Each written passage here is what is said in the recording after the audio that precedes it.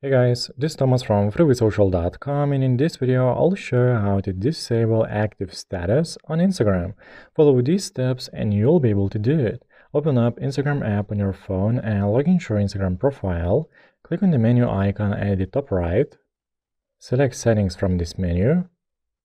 Proceed to privacy section. Go to activity status.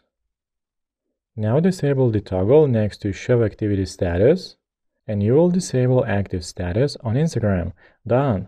I hope guide was helpful and you're able to disable active status on Instagram. Don't forget to like this video and visit us at freewaysocial.com.